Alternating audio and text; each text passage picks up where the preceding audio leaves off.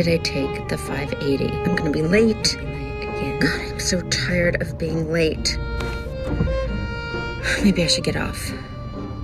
Of course, no one's gonna let me get over, are you? No, of course not. Always acquiescing to everyone. I should just cut in. Just I do that all the time. I do it about everything.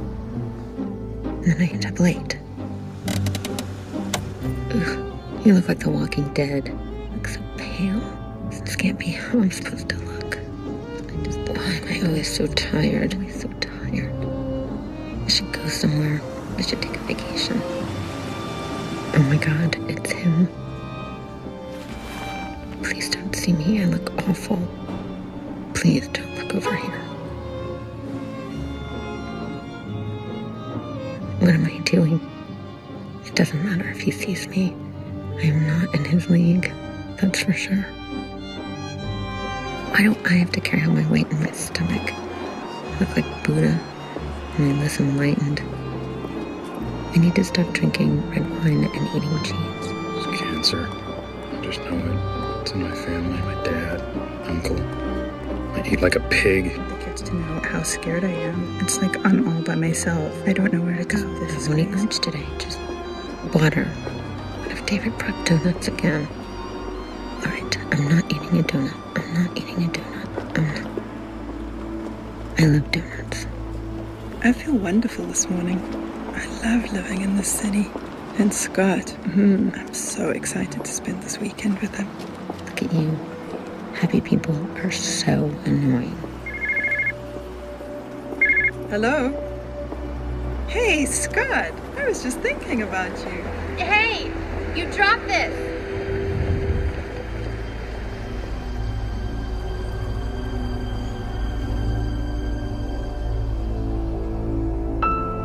I'm willing to change.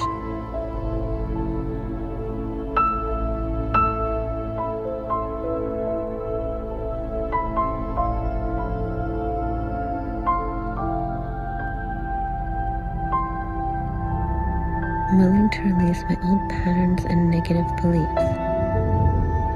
The power that created me has given me the power to create my new life. I choose positive, fulfilling new thoughts.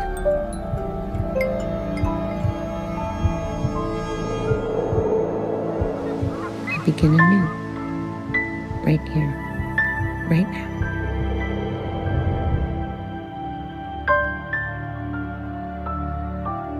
All of us are on a journey, whether we know it or not. We are all on a journey of learning to express our full potential in this world. Most of us have learned to view our thoughts as a reflection of the outside world, reflection of what is happening to us.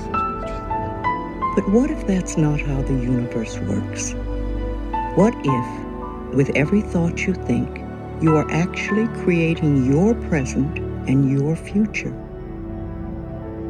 What if you are creating the story of your life with the very thought you are thinking now?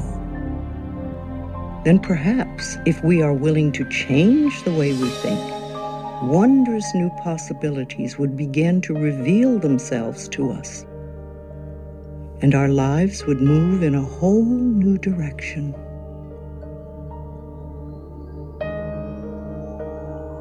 It all starts with taking the first step.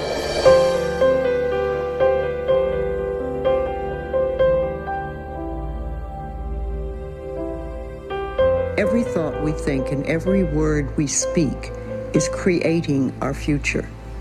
It's as though our thoughts go out into the universe and are accepted and brought back to us as experience. You become what you think about, uh, wh- whether you want it or not. The thought that you are thinking is vibrational in nature and therefore attractive in nature. So when you care enough to take the time to change it from what you are terming negative to positive, you have shifted your point of attraction.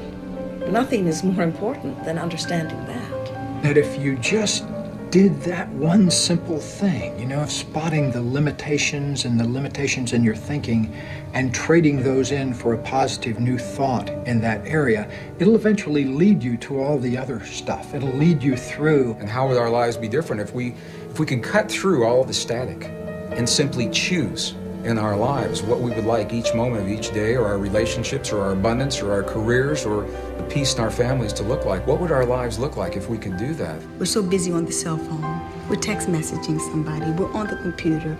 We're on the internet. We're watching soap operas. Once again we're looking outside of us. People don't realize their greatest potential because they think it's from an outside source when it's so divinely ordained within them. Now it's how do you turn that around it starts with thinking differently.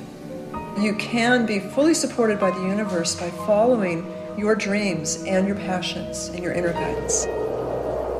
Your willingness to contemplate yourself as a person who is capable of attracting into your life what you want, having the kind of relationships that you want, being able to have abundance where, you know, scarcity always exists. All you have to do is begin the process by being willing to contemplate the presence of that in your life.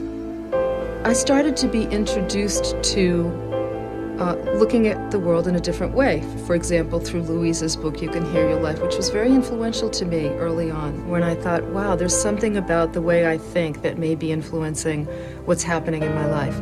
We now know that we can rewire our patterns in our brain with cognitive behavioral therapy or affirmations. It changes the way our brains are wired and they light up differently. So it's not just this fluff, woo woo stuff with purple, but it really has biochemical, neurochemical, neuropharmacological effects just as effective, if not more effective, than Prozac, Zoloft, you know, whatever else you have. So Louise Hay, former model, former therapist, discovers something by observation that science supports decades later. Person here that cannot improve the quality of their life. I constantly do it. What I really ask for is how can I increase my understanding? Because the more I understand about how life works and how thought works, the better my life gets.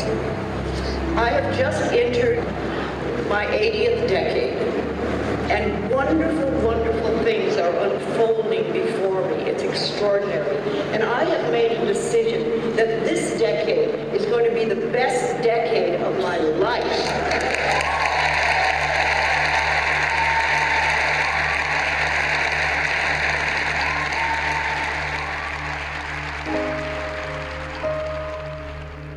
My life, as far as I know, was very good until I was 18 months old. And then everything hit the fan. My parents got divorced, and I was put out into a foster home. And then later, I came back with my mother, and then I was about five years old when she remarried. And she remarried what turned out to be a brutalizer. Uh, we didn't know that at the time. So the next 10 years of my life were very, very challenging. There was a lot of physical abuse and, uh, and sexual abuse. I grew up in a family where really you were taught that you were no good, you were worthless, nobody loved you, and nobody would love you. And when you have that belief, then life gives you those experiences. I was raped by a neighbor at one point and the man got 16 years for it. Uh, there was another neighbor that was after me. This was all when I was very little. And then, uh, about the time I became a teenager, my stepfather stopped beating me and started to uh, have sex with me. And that was much harder for me to take. So I left home at 15. I knew nothing. I had no social skills whatsoever, uh, but I was out of the house. I was starved for love, and anybody who'd be nice to me, I went to bed with. And so within a year, I had a baby. And I couldn't take care of the baby, I couldn't take care of me. But I found the child a really good home. A couple who wanted a baby very much and couldn't have one. And so I lived with them for the last two months, and I had it in their name at the hospital. And after five days, I left. And what I did was I went back to my home. I got my mother and I said, You do not have to take this any longer. You're getting out of here. And we both left. And we were together for almost a year. And then I said to myself, you know, she's okay, she's fine now, she's in good shape. And I took off. And I went to Chicago for three weeks and stayed five years. And then I went to New York for three weeks and I stayed 30 years and bumbled through life doing the best I could with the understanding and knowledge that I had, which was really nothing. I, I started out working in dime stores and things like that. And then when I hit New York, life sort of changed for me. And um, I became a model, a showroom model. And I'd had no education, so it was a very good job for me because I couldn't be a secretary or anything like that. And I did that for many years. I married an um, upper class Englishman, which was a very nice experience. And I stopped modeling at that time. And we had 18 rather wonderful years together. And I was learned a lot about life. And it was like my social training because I had no social skills at all. And by the time we were partying, I had learned a lot. But when the divorce came, it made me feel very much like so many women feel that I was a total failure and I couldn't do it right and everything was wrong again. And uh, it was about five years later that I discovered this group called the Church of Religious Science, which uh, was where I heard if you change your thinking, you can change your life. And that is where my life really began to change.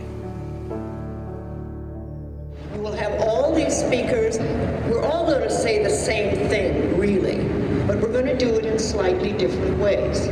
And we want to, everybody wants to hear things differently. Just because I say something, some of you will get it, some of you will say, what is that woman talking about?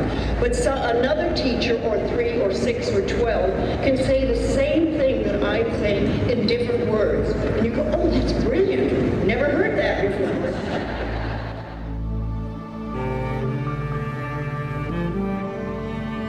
I was living like a lot of people do, fairly unconsciously, but not aware of my unconsciousness, you know, just kind of going through life and often feeling as though life was happening to me, that I was a victim to what was going on in my life. I was really like living in a comfortably numb place. You know, there wasn't a depth of meaning in my life, and I knew something was missing, but I couldn't name it.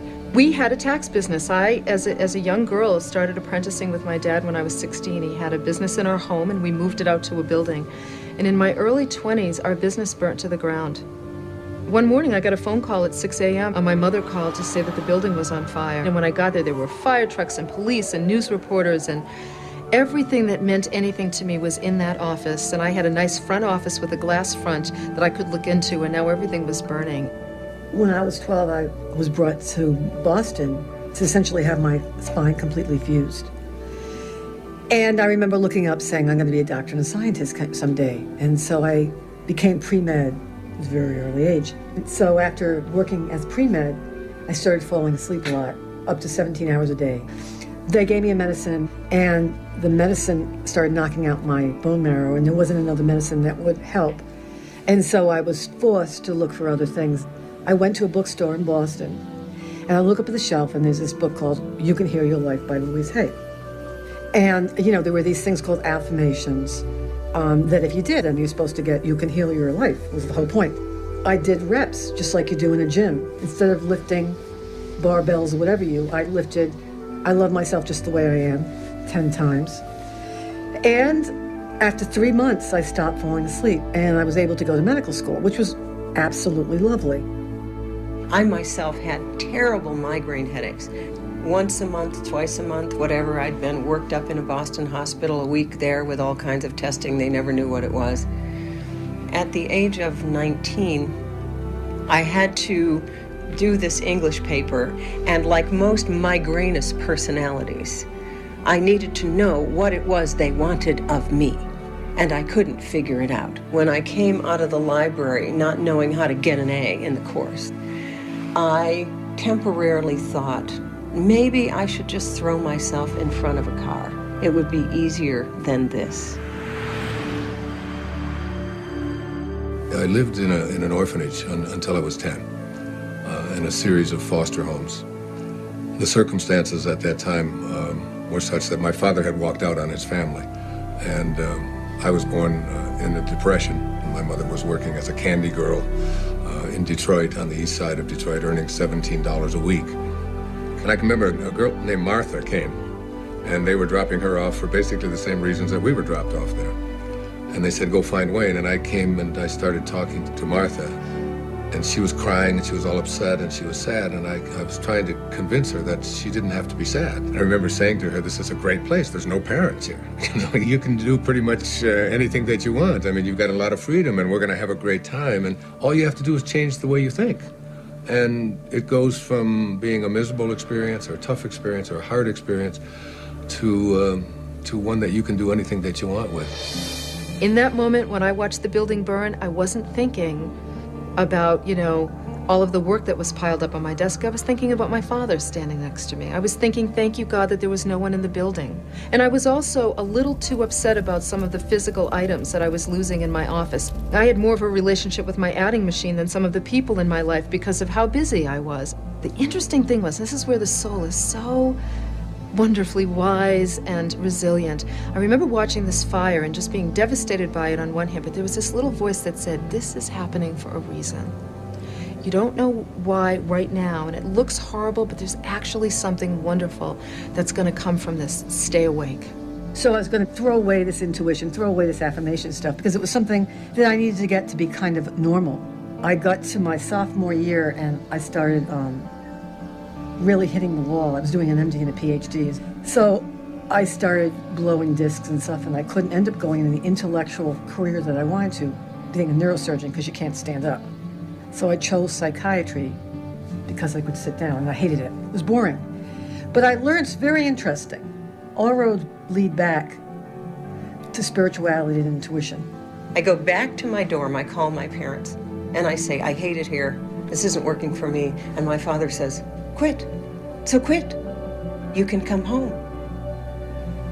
And I changed my mind. And in that moment, I changed the migraine headaches.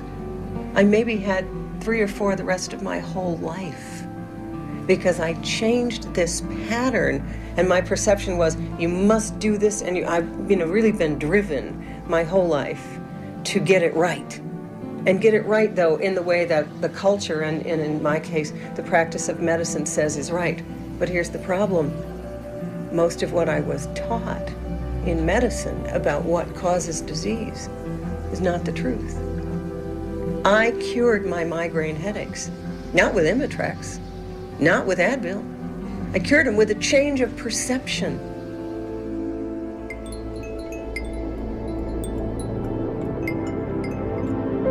Some people think the change has to be shocking, like diving into a cold pool.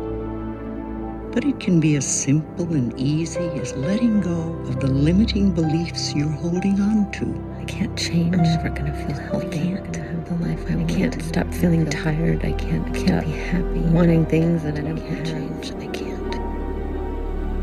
You can begin your journey wherever you are, whenever you want. You may be starting your journey from a mansion or a homeless shelter. Wherever you begin, the gateways to wisdom and knowledge are always open. And the first step can be as simple as changing a thought from I can't to I can. I can do it.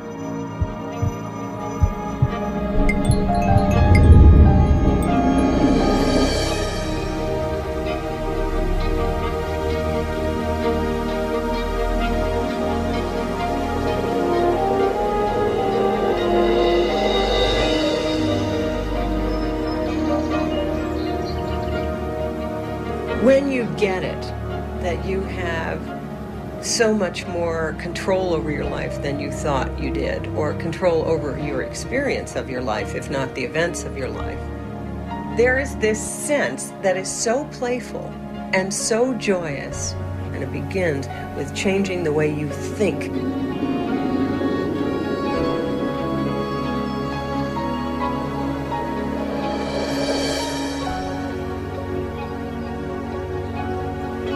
Life as you know it can change in an instant. Everything you call God can disappear before your eyes. And you know, it's not until you have a crisis like that that you're suddenly you come face to face with what it is that really matters in the world. So it's a wonderful thing when you bump up against something that feels uncomfortable because it's this opportunity to now feel the discomfort of it and work it into a place of greater comfort. That's how you get rid of those obstacles. That's how you let yourself flow in the way that you want. Okay, I can do this. I can do it. I can change. I can make my life better. I'm scared, but I want to change. I do.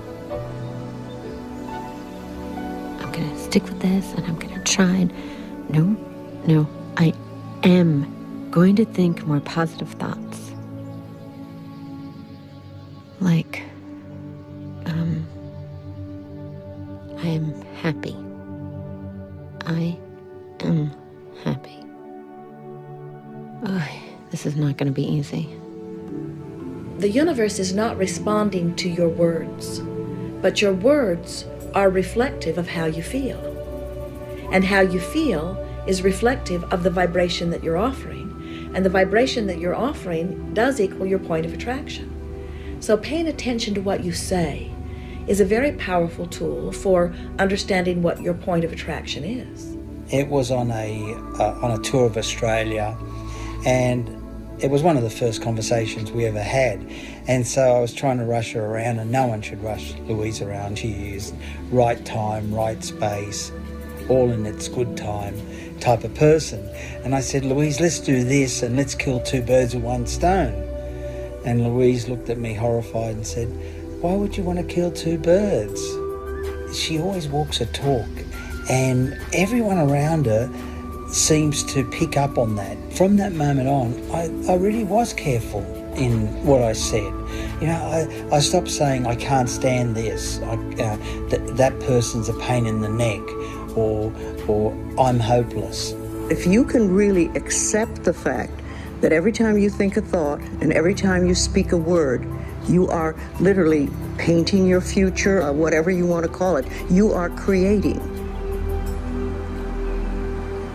And you're creating your own life.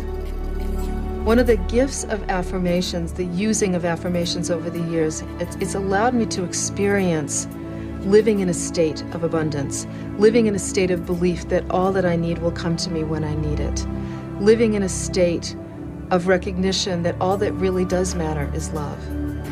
And it's because of using affirmations over the years, I find that I'm now more concerned with life as an energetic force, living in an energetic state of those affirmations instead of the actual words.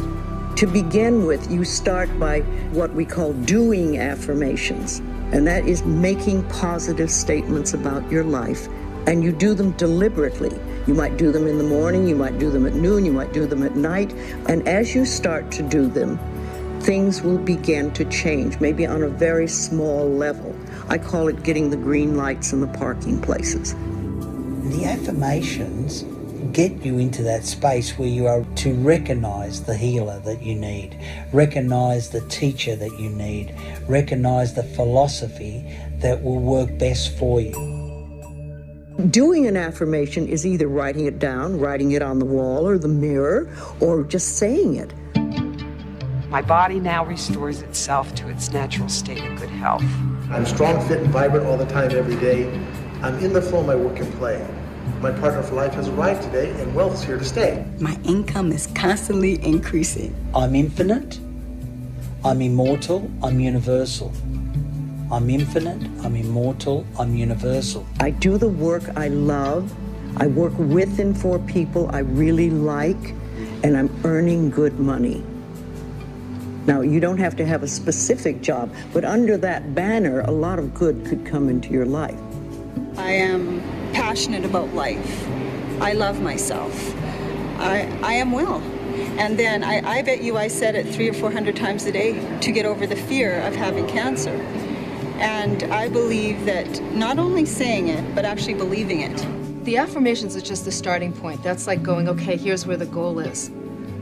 What really gives those affirmations power is the emotion we put behind it. So, what's interesting is you start out the journey going, okay, let me start here. Step one is what's the affirmation? Step two is, you know, how can I generate the emotional power behind that affirmation? And a lot of that comes from taking actions to support that affirmation. That's how you begin to step into that state. And then as you step into that state and you take actions and you put the emotional power behind those affirmations, they begin to manifest themselves in your life. It's got to get anchored into your, not only your mind, but in your spirit, and you have to believe it. And when you're first doing it, it doesn't, it feels, it feels fake. It feels silly. But after a while, you start to realize, yeah, you know, that's right. That's, yeah. What I like people to do is to stand in front of a mirror and do their affirmations. Because there's something very powerful about looking in your own eyes and accepting yourself or noticing that you reject yourself when you're saying something positive about yourself. Driving to work, when I first read Louise, I used to, she said, you know, that you should 20,000 times a day, or every time you have a negative thought, just I love and approve of myself. You know, just replace it with that. For the longest time, I, I love and I love and I, I couldn't think of the other word. It was like, why can't I remember such a simple word? It's like planting a seed in the ground. It's not necessarily true at the moment, but it is something you want to have be true. So you put the seed in and you expect it to grow. You don't wait for two days and then dig in the earth and say, what's happening, what's happening. You expect that thing to grow because you know there's a law and a process. And the seed will grow if it is in the right soil and it has the right amount of moisture. And many people are finding out about how literal this language is in very interesting ways. I hear people say that they, they want a perfect relationship or they want abundance in their lives. And they say it with an air as if they have just put that manifestation out there and they're going to get it pretty quickly. And then I see them a year later and it still hasn't happened. And a couple years later, it still hasn't happened. The field is literal, the divine matrix is literal. So when you say, I want this to happen in my life, the field says, okay, and I'll let you want and want and want because there's no outcome. It's an open ended proposition. It is like a computer.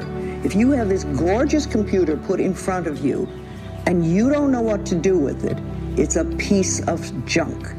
But if you learn the language of the computer, miracles happen.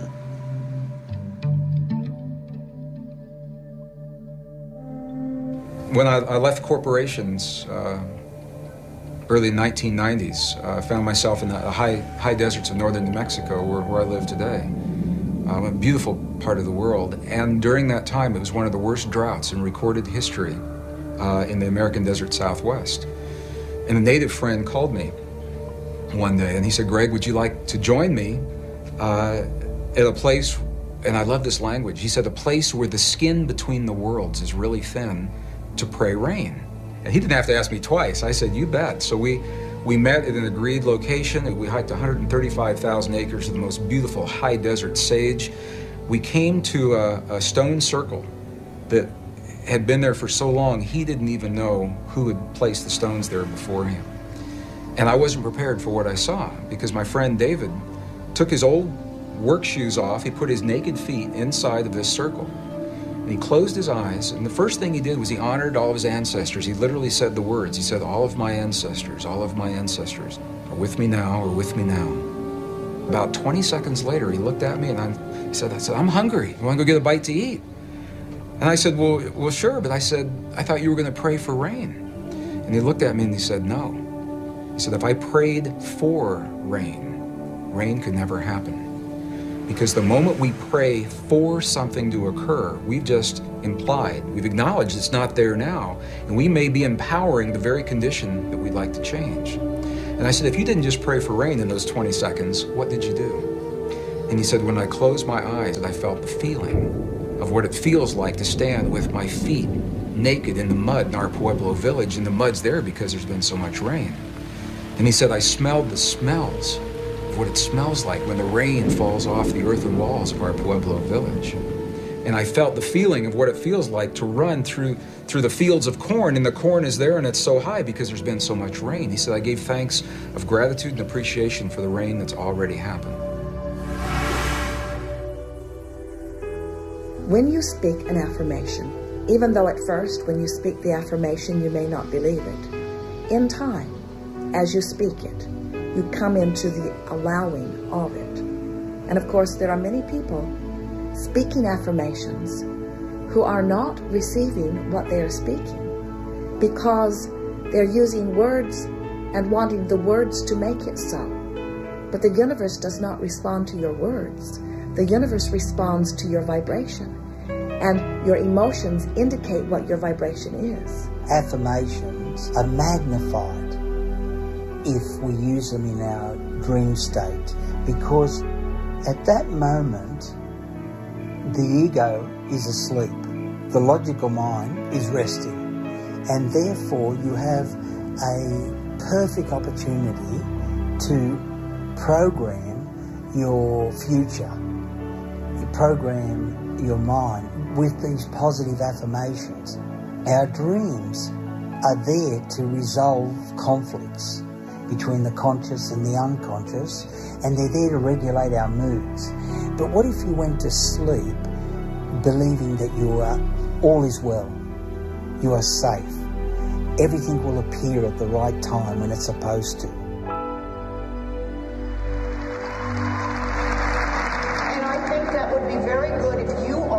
Decide that too. That the decade you are in at the moment is the best decade of your life so far. If I can do it, you can do it. I was a high school dropout, had never studied anything, suddenly became fascinated with this idea that if I could change my thinking, I could change my life. And I started to study. And I, I couldn't stop. I did lots of classes, lots of books, all sorts of things, so I could begin to understand how this works. And at the end of three years, I was eligible to become what they called in the church a licensed practitioner, which gave me the opportunity to work one on one with other people. And that's, I think, when the changes really started to happen because I was sort of began to teach other people how to do this and how to change their thinking so they could change their life. People were getting good results working with me. And then I started teaching classes. And those turned out very well. And the next thing I knew, I was doing weekend workshops for 350 people. So one of the things I began to really notice was what people said, how they said it, and what was wrong in their body. And I started to put things together. And I really trained my mind to listen to what people said. I put a list together for my own use with clients, of, and I'd alphabetized it so if you came in with a problem, I could look it up quickly and see what I had written about it. And I showed it to a friend in class, and she said to me, Oh, Louise, what a great idea. Why don't you make a little book out of it? And I went, Oh, really? A book? So my first little book was done in 1976 that was Heal Your Body. And that was the mental patterns for the physical ailments in the bodies and how to make changes. I really believe that the big boys, as I call them, would not publish the book. And if they did, they probably would want to change it. Because my ideas at that time were very radical. Your thinking can change your life. And I wanted to say it the way I wanted to say it. I didn't want a word changed because I knew what I was doing. So I printed the book myself. So I went to the church printer because I didn't know where else to go, and I had this little 12-page pamphlet put together. And I remember taking it to my teacher and showing it to him, and he said, oh, Louise, isn't that sweet? What a nice thing you've done. How many did you have printed, 200? And I said, no, 5,000. he went, you're crazy. You'll never sell that thing. but two years later, I had. I'd sold all 5,000. I sent a, a, free copy to every metaphysical church that I could, knew of and an order form. And many of them took it. And uh, that was my first little book. I read her little book and I said this would never work for me. But uh, I came home determined to try it. Um, at the time, I was being treated for fibromyalgia and chronic fatigue. I was self-employed. My energy was levels were so low. I was barely putting in 20 hours a week, um, completely ignoring my children and my responsibilities. And I started her affirmation. My body now restores itself to its natural state of good health and I saw the difference in a week. I said it all the time, and I started doing her mirror work. I would go to the mirror, and though I didn't feel it and the words stuck in my throat, I would look in the mirror and I would say, I love you very much, Jackie. You're perfect exactly the way you are. All right. This is going well. I have all the power. Nothing can stop me. I feel healthy and, and breathing, and air feels really good, and accepting that I'm a part of the universe and gives me exactly what I asked for. Okay, so I totally tripped. It's alright. It was a positive trip. In the moments of deepest despair, there's actually humor always. Humor lifts us up to God. It lightens up every situation. But just before you get there, there's usually this time of pain-filled joy or joy-filled pain where you might have to break down with some deep sobs. When someone's in trouble, I think of them just like someone who's come out of a movie, a scary movie, and they're crying. Their tears are real, their fear is real, but what they saw that caused the fear is not real, it's a movie. So what I'll do is I offer some suggestions about ways to reframe their situation or find a blessing in a seeming problem. And yes, there are challenges in life that we all go through, and there's no shame with that, but it's what you do with the challenges that counts. Now that I know when so called negative things happen, that they're really positive things, and that what I need to do is focus on a positive outcome, and then stay course, and then so shall I have that experience. The way that you retrain yourself is to shift from uh, having a fear to uh, having a curiosity. You know, substitute the word curiosity for the word fear. Because a lot of us, when we start doing those things to honor our soul or to express our creativity, those are really vulnerable acts. You know, the things that we intend or that we affirm for our lives are those things that are deeply important to our soul, and so they're vulnerable. And too often we turn to people who just squash them, you know, or who tell you why it isn't going to work, or why that's a crazy affirmation, or that's a crazy intention. That's called going to the hardware store for milk. You want to go to the people who are really going to hold your hand on the journey and say, hey, I'm there, right there with you.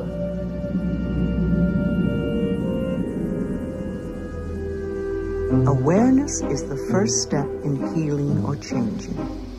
When you're facing challenges on the journey, it's tempting to turn back or to blame somebody for the situation. The healing attitude, though, is to think of any external challenge as simply a reflection of your own internal resistance to change.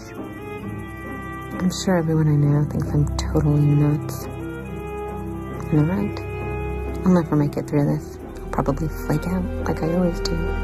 Besides, this isn't even doing any good anyway. Before the 15th and 16th centuries, um, all of the ships were made out of wood.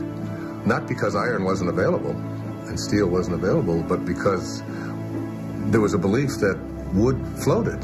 So therefore you had to make ships out of things that floated. And then someone came along and said that it has absolutely nothing to do with what things are made out of. It has to do with the amount of water that is being dispersed. That's that's what determines whether something will float or not. And I think about that all the time because it's it's in the contemplation of what you desire that you create what it is that you want to have for yourself. The law of flotation was not discovered by the contemplation of the sinking of things. I mean, come on. I'm not one of these self-help people. I don't believe in crystals and white light and the divine feminine and angels and source energy. I mean, what is that? Let's be real. This is all just wishful thinking. We tend to live our lives based on what we believe about ourselves, our world, our capabilities, and our limits. Where do those beliefs come from? More often than not, they come from what other people have told us history, science, religion, culture, family. What if they're wrong? I have all these people telling me what to do, and I please. If it weren't for my mom, I'd at least have a chance. I mean, come on, where was Louise Hay when I was growing up? I had no one to show me the way to be, and my dad is no Wayne Dyer, I can tell you that much. Anything you complain about repetitively is something that you have an unconscious intention to produce. And now, I'm just too old to change my life. That's it. Too old, lazy, short-waisted. I should have tried to be positive years ago. I think it really starts with realizing that you don't love yourself, that most people don't. Most people feel they're not good enough, that they haven't done it right, they won't do it right, they'll never be enough, and they're definitely not lovable. And when we come from that space, it's very hard to create things for ourselves that are really good.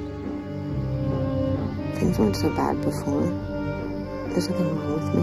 I'm fine. I'm fine the way I am. Everything's fine the way it was. And now I'm here. It just stayed the same. Everything's messed up and confused. Well, at least I know what to expect here. It may not be the best, but at least I know how to handle this. And what's in the future might be worse. So I better not try and go out there and change things. What if I fail? What if I don't succeed? I should just go back. I don't have time for this. I mean, I have so much to do. I'll, just, I'll come back later. I'll do it later.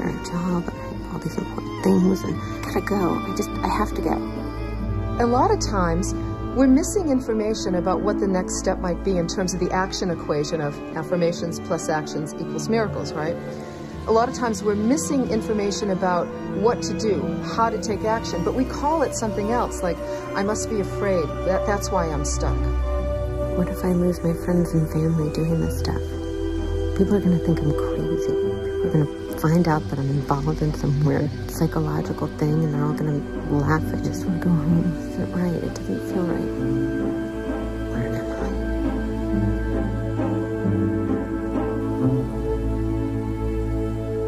I? We have been conditioned to feel the feelings of the things that we don't want in life and that we're afraid of.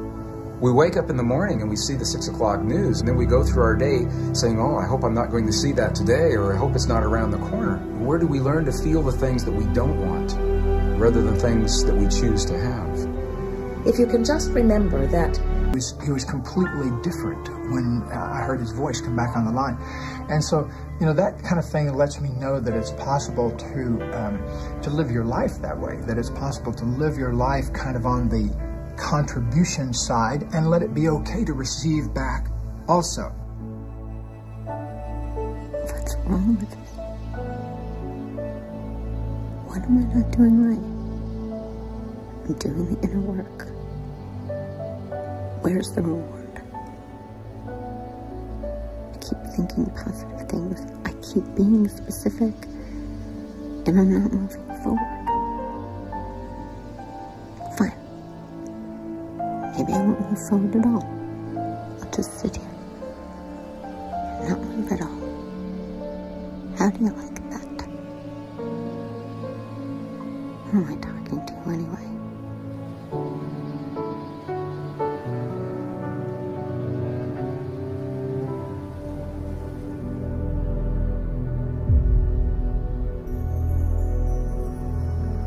I was diagnosed with cancer, and it was vaginal cancer.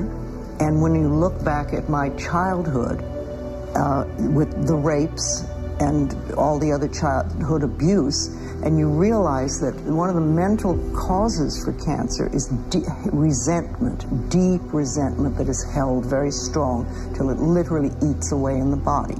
So, where would I put my cancer? So I remember being very terrified, like anybody would, and I called my teacher and I said, Eric, they say I have cancer. And the first thing he said to me is, Who is they? And I said, The doctors. And he said, Louise, you could not have done all this work on yourself to die of cancer. Now let's take a positive approach. And I clung to that. It was a lifeline for me. And I did things I hadn't done before. I went from being a junk food person to uh, doing nutritional work and, and detoxifying my body, and I was detoxifying my mind, and I did a lot of things uh, I had tools to work with. And I said to myself, you're being given an opportunity to practice what you're teaching. You're telling people that they can heal anything if they're willing to do the work, and now it's your turn. I remember working with a therapist and banging pillows and, you know, getting anger out and all that stuff. But I think that the work I did at the time that was the most important for me was to do forgiveness. And I began to investigate the childhoods of my parents. And when I found, discovered their stories, I could understand where they were coming from. There were, you know, there was just uh, horrendous things on both sides, all sides. So how could they know how to treat a little child when they didn't weren't treated that well themselves. So as I began to do the forgiveness work and the therapy and the, the nutrition and everything, within six months, I was able to get the medical establishment to agree with what I already knew inside, that I no longer had cancer. And when that happened, I knew that anything could be healed. I knew because I had done it myself. And all the other stuff helped. But I knew that what all the affirmations and all the stuff I was doing. So that gave me an extraordinarily strong belief. And when you have a strong belief, you can do anything. I was diagnosed with a condition inside of my body where a doctor told me that something was growing, a cancerous tumor that shouldn't be there. And I had gone, I trusted the medical system because that's our culture, that's the way we're raised. And there's a part of us that says, even if I go the holistic route, I'm going to let a medical person tell me what's going on just for that validation. So it was my opportunity to put into practice everything that I ever learned. And rather than concentrating on something that should not be in my body, I began feeling uh, that my body was, was vital and healthy rather than focusing on making something change. However, uh, through the influence of family and friends, I underwent a medical procedure anyway. I went into the operating room, I was anesthetized, and the next thing I remember, I woke up and there was a doctor looking at me and he said, What are you doing here? There's nothing there. All I'd done were the practices and the principles that I'd traveled halfway around the world to learn, and I employed it in my own life. And it worked in that moment. I have the photographs showing there's nothing in my body. I was anesthetized, uh, and they, they did an exploratory for no reason at all. Because of that, I can speak with conviction. I can look anyone, a scientist, uh, a doubting audience member, and I can look them in the eye with conviction and say, This is what I know to be true in my life, that there's a power inside of your body. The ancients say it's the most powerful force in the universe. The philosopher Neville, uh, early in the 20th century, said that there's a power inside of every human against which no earthly force is of the slightest consequence. I did a whole bunch of research on, uh, on cancer. I wanted to know who had beaten cancer and what, what was the common denominator. So I had I, I, did a lot of reading and I discovered that the common denominator was everyone, no matter what treatment that they chose, they were well because they changed the way they thought. I knew that opening myself up physically to the surgeon's knife was an adjunct to true healing, and that I needed really to open spiritually. Your body's not your enemy, which of course I think anyone who's first experienced disease or pain, I think we're taught that, you know, why is my body doing this to me instead of why is my why am I going through this experience? And it sort of let me shift my thinking to, you know, I need to love my body through this. I'm thankful that I, I actually got cancer because I needed a big wake up call. Um, I needed, I was the type of person that needed almost to, you know, to get hit between the eyes. I'm in remission and I feel wonderful and I've never felt better about myself. I still walk around daily and I use that affirmation that she had for cancer. It's the, um, I lovingly forgive and release everything in my past. I choose to fill my world with joy. I love and accept myself.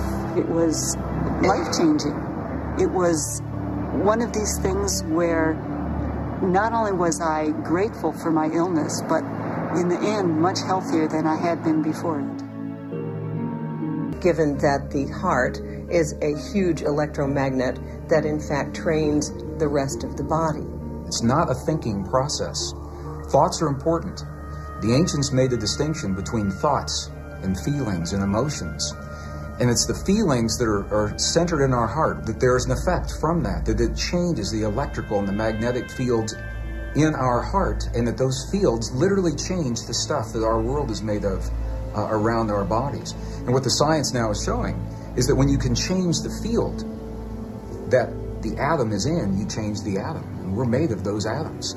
So when we have feelings in our hearts, we're changing the field uh, that connects the stuff everything is made of, and we literally are altering our physical reality in ways that sound miraculous.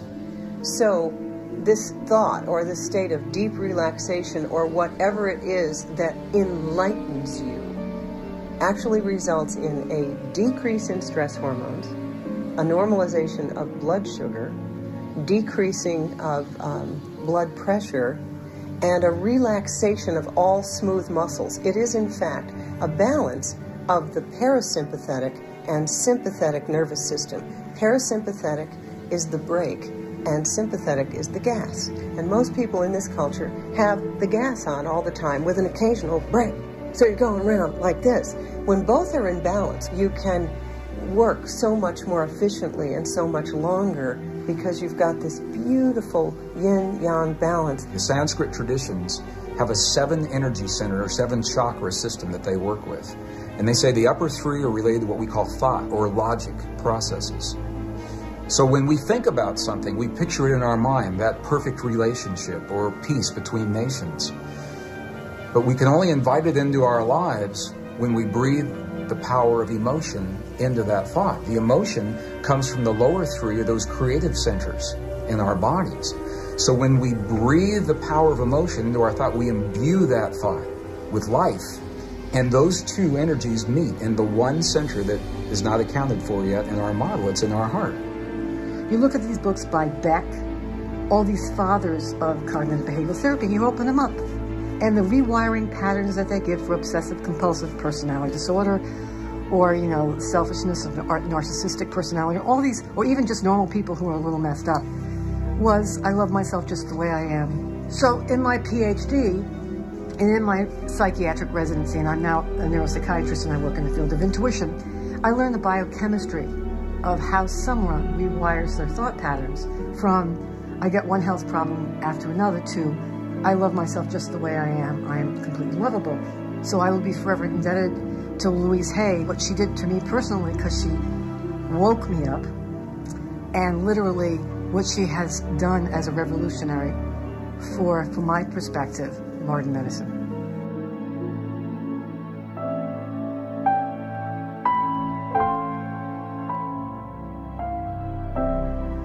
I seem to have been a born teacher, and I gathered a lot of people to me. I was doing workshops and classes, and when the second book came out, it was slow to start with.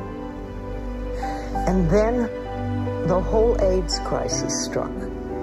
And for some reason, life said, you are going to be in it.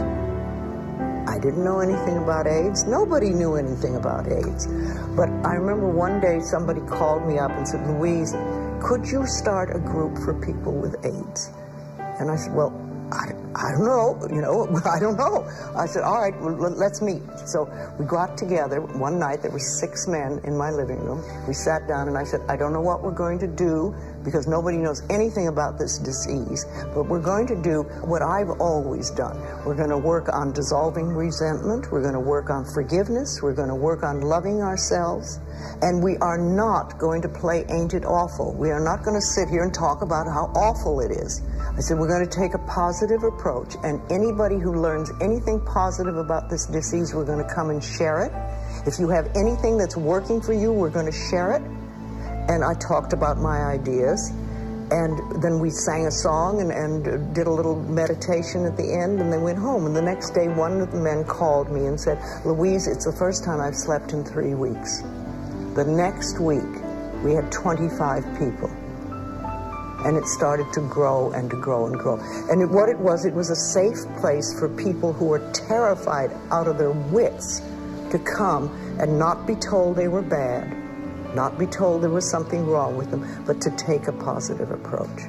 Within six months, there were over 90 people in my living room and hanging out of the doors and windows because there was no place to go. And then we got a gymnasium in West Hollywood, and the next week it was 150 people. And then the next thing you know, we outgrew the gymnasium. And finally, the city of Hollywood gave us a meeting home. Uh, we were having 850 people every week. People used to call each other up every going to the hayride tonight. So we became known as the hayride. I wanted to put this uh, the hayride on tape or make a movie of it or a video so that it could go to other groups and other groups could see what we were doing. I'd like you to continue to hold hands. Those of you who are new and don't know our song, you'll learn it by next time. so I, I discovered then it would cost $40,000 to make a video at that time. And I thought, oh my God, we don't have, you know, two. But I kept knowing that we were going to make this video. It would be a good video. It would go out and would go to all these groups. Those were my affirmations, and I just kept saying them. And then uh, somebody came up to me, and he was a director, and he wanted to direct this thing. And I said, wonderful. And then the offshoot of that was that he said, all right, let me have, give me your foundation number. And I said, I don't have a, a, foundation. And he said, oh, okay, I'll have my accountant set one up for you. And out of all that, I got a foundation, which I have till today. And it's what I call giveaway money. Whatever money comes into that foundation is given away. But anyway, we made this wonderful video called Doors Opening about the group that we had at the time. This is the first time I've been to your group. Okay, welcome. Uh, six weeks ago, I found out that uh, I had uh, a malignant tumor in my lymph system. Mm-hmm. Four weeks ago, I found out that it had spread substantially. And two days ago, I found out I had AIDS.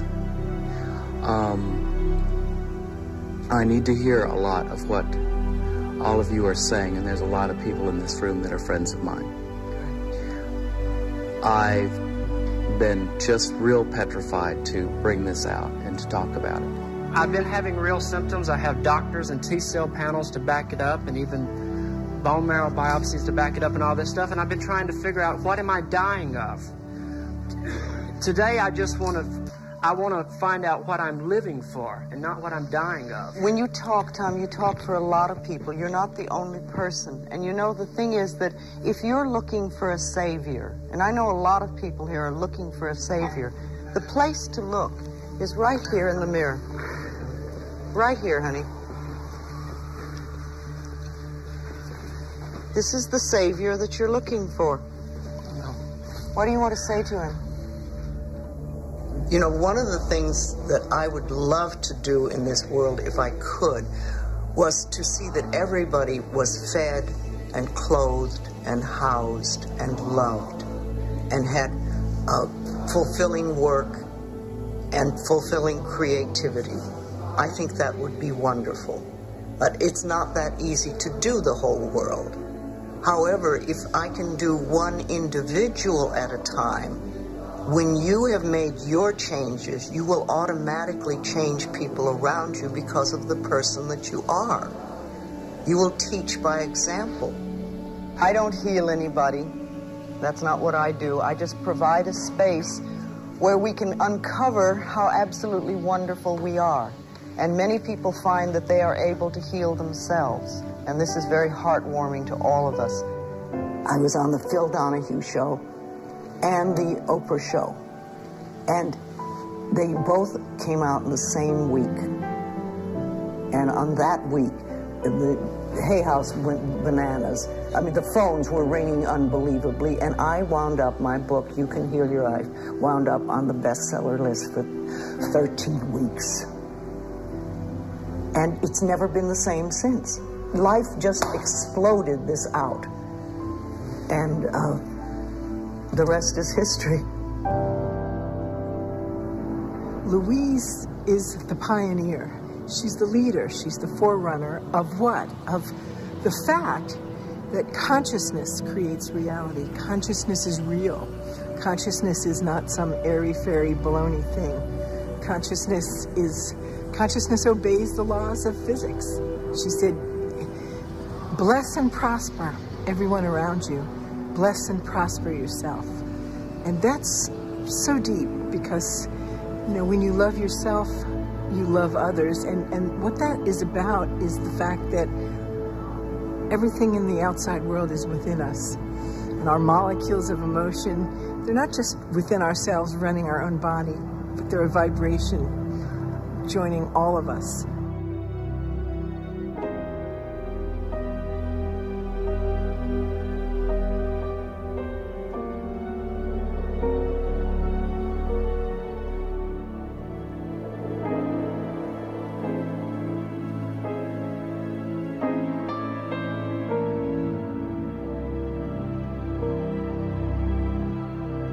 I'm willing to forgive. Forgiveness of myself and others releases me from the past. Forgiveness is the answer to almost every problem. Forgiveness is a gift to myself.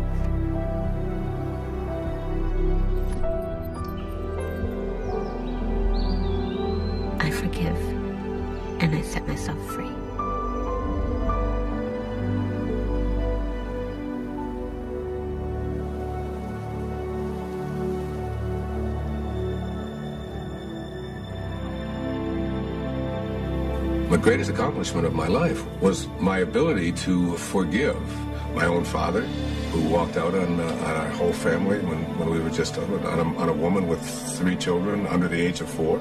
I very often meditate and pray to him and thank him for, for coming into the world and teaching me the most important lesson I had to learn on this planet, which was how to forgive.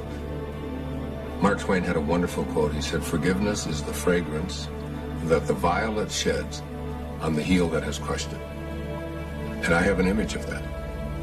What I call organic forgiveness is a very great, useful thing. And that is when a person organically has an experience of forgiveness after claiming responsibility for all of their feelings.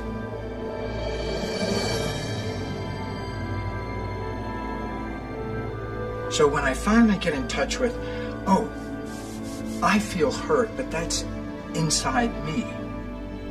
It's not like you're doing it to me. That breeds organic forgiveness. When a person can claim responsibility for things inside themselves, that is a sign that they're in touch with their own vibrational nature. They're in touch with the forces of creation. A very good thing to do when you are feeling less than happy is to look at it, or whoever it is, or whatever it is, and take a notebook and write the person's name or the situation and say, what is it that I'm thinking about you that I'm using as my excuse to not allow myself to be who I really am? When you say, what are you doing that's making me unhappy? You're giving them all of the power because they have to do something different to make you happy. It's a very conditional love you're living, a very conditional happiness. Once you identify that and then think the thought that who you really are would think, now happiness is easy. Coming into alignment is easy. It's just a matter of caring about how you feel and practicing feeling good. Whenever you have a conflict of any kind, in any relationship, whenever you have a conflict, that the person who is willing to be of Tao, of God, of Source, is the one who will um, practice forgiveness or will go, go to the person that they have a conflict with and, and bring love to it. The person who lives the life of a higher consciousness is the person who says, I end all conflicts on love. I forgive and I set myself free. I forgive and I set myself free. I forgive and I set myself free. I forgive and I set myself free. I forgive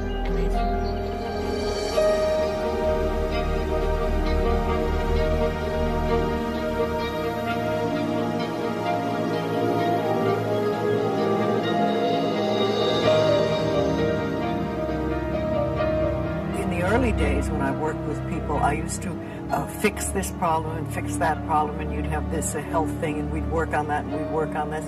And one day I discovered, much to my amazement, that if I would help people learn to love themselves, to really accept themselves as they are, we didn't have to work around problems because it was almost like a miracle. Everything seemed to fall away. All the stuff that was in the way and all the stuff that wasn't working. I've got this book by Louise Hay. I start reading the book, and her whole emphasis was not on dealing with the disease so much, but dealing with yourself and dealing with, you know, do you love yourself? And I, you know, went through all the, the little exercises that she had. I'm doing the daily affirmations. And what I realized that at 43 years old, I had never learned how to love myself. I remember lots of times I would ask people, well, what is really wrong with you? What have you done that is so terrible that you're not acceptable to yourself? And I never, ever, ever got an answer that made any sense. You know, they might say something like, well, I'm too fat. Well, so? you know. I was very self-critical. You know, I think women go through this whole thing where, you know, it doesn't matter how other people tell you you look. It matters how you feel you look when you look in the mirror. And I used to, you know, look at myself in the mirror and I would see my flaws. I would see the things about myself that I wanted to change. When you talk about loving yourself, a lot of people think that's vanity. But it isn't really. It has nothing to do with that. If you look in the mirror, just simple things like looking in the mirror in your own eyes and saying, I love you. I really, really love you. And it helps if you use your name, Louise. I love you. I really love you. It gets to that little child inside that has been rejected for so long. And it breaks open sort of a, a dam or a, a door or whatever you want to call it. And it's like little miracles start to happen. Lots of little good things happen. You know, all the work that I did with what she taught me, within three months the cancer was gone. I am clear now, and I feel fabulous. You recognize that you are a being that has self-worth. Then you start to treat yourself differently, and I think that's what's so very important about loving yourself, is you stop beating yourself up, you stop making yourself wrong, you stop talking about how awful you are, and you start to treat yourself with a certain amount of respect. And this makes an enormous difference because what you give out in life is what comes back to you. The fastest journey to loving oneself is to look for things to appreciate everywhere you look. Because if you can find something to appreciate in that flower, you're not in that moment a vibrational discord to loving yourself. If you can find appreciation in that child's face or in the beauty of a friend, as you find things to appreciate, the vibration of appreciation and the vibration of love are identical vibrations. I love and accept myself.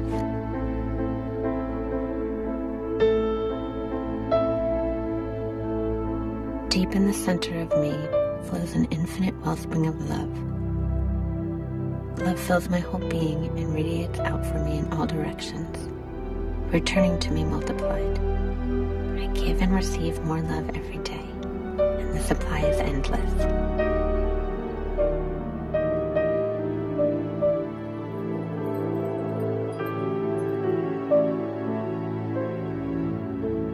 I love myself. Therefore, I take loving care of my body. I love myself. Therefore, I provide for myself a comfortable home. Love myself. Therefore, I work at a job that I truly enjoy doing. I love myself. Therefore, I behave and think.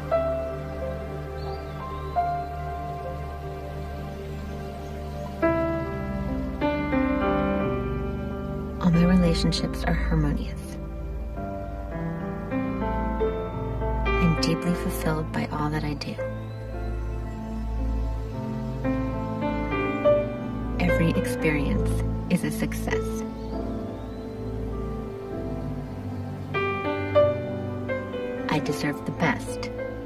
Accept it now. I listen with love to my body's messages. I am healthy, whole, and complete. I express gratitude for all the good in my life. Each day brings wonderful new surprises.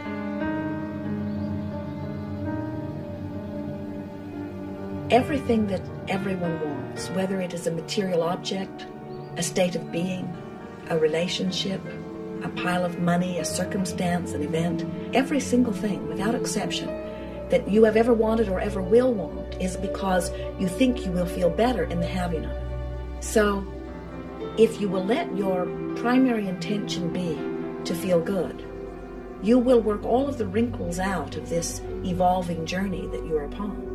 This is how it's worked for me. Every time I've visualized or affirmed, I get this inner roadmap given to me in the form of gut feelings that are repetitive, that urge me to take action, or visions. I was married to a man who decided to control me by telling me how awful I was. And I believed him for a long time, and my self esteem just plummeted. I didn't think that I could do anything in the world except for be a wonderful mother to my two sons, which I think is an important purpose. But there was something more. I would pray all the time, tell me my life purpose. I kept getting these visions to go give speeches, and I didn't know how to do it.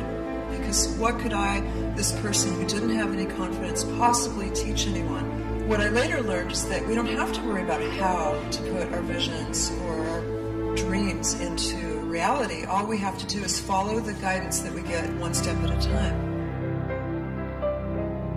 It's very common for us to overwhelm ourselves, to frighten ourselves by thinking about the end result. It's so big. Here I am as somebody who wants to write a book. Oh my God, how am I going to write a bestseller? There are things you need to learn between A and Z that you can't complete Z until you learn them. Overcoming self doubt, for example, is one of those things. And so that's why you take step B, because maybe you just have a little bit of self doubt about going to the bookstore to buy that book on writing a book proposal. It's not enough just to ask. It's not enough just to have positive thoughts. You've got to follow the guidance you get as a result. Sometimes people tell me that they feel like their prayers are being ignored. Because the universe gives us little baby steps, one step at a time, it's often unrecognized when you're told to go read a book, take a class, call someone, write a letter. But if we do step A, then we're given the next set of instructions, step B. Then we're given the next set of instructions, step C, and it takes us step by step to where we're going. As your desire is moving and you are moving in the direction of it, you feel the ease of that. It's only when you turn in opposition that you feel the resistance of all of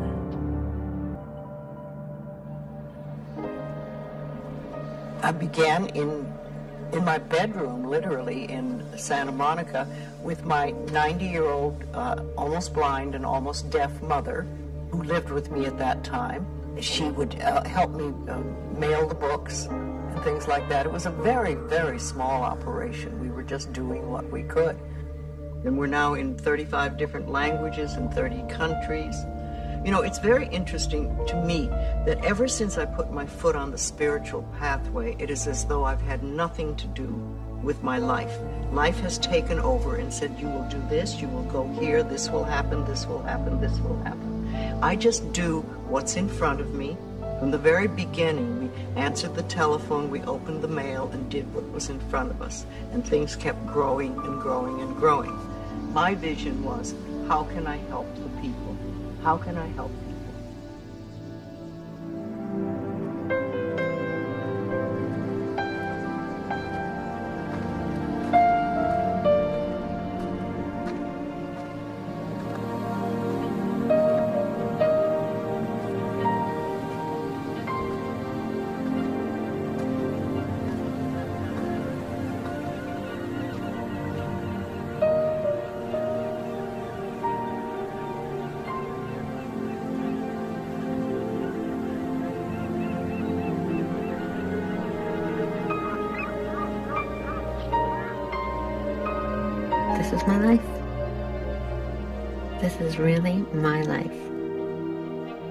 To me, I think enlightenment is letting go of all the things we believe that are not benefiting us in life or that are barriers to our life, to the good things in life, and to release them one by one and just think, I don't have to believe that anymore.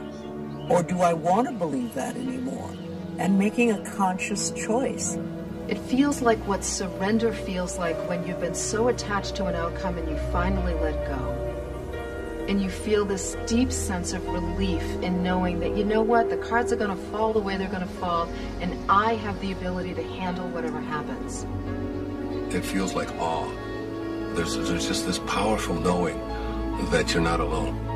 So we can give it a lot of different names, but the key is that, that we are, I believe, much greater than we've been led to believe in the past. And I think that that's where the healing really begins, us understanding uh, and accepting that power in our lives. You cannot fake your point of attraction, can you? It is what it is. And everything in the universe is reflecting it back to you. I have great gifts. I have an incredible life. But I've had a few problems. I have a little bit of a back problem. I, I fall asleep in a weird way. But I have been given incredible opportunities. It all began with reaching up for that book with Louise Hay, You Can Heal Your Life. I follow my inner ding, what I call my inner ding. Yes. Well, it's that feeling, your instinct. It's an instinct thing, and it either feels right or it doesn't. I follow my inner ding.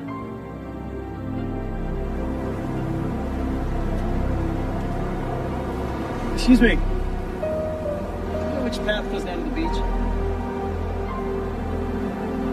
Yeah, you have to turn around and go.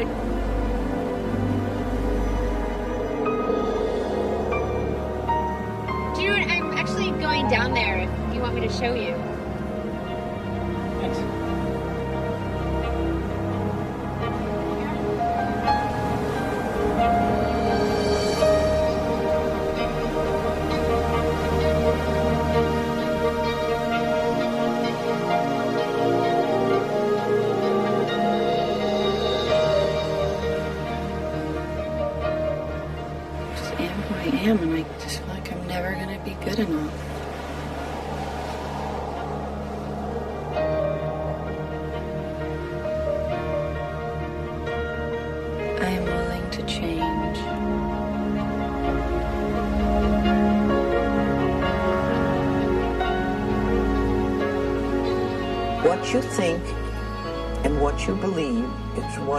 Come true for you. Your thoughts create your life.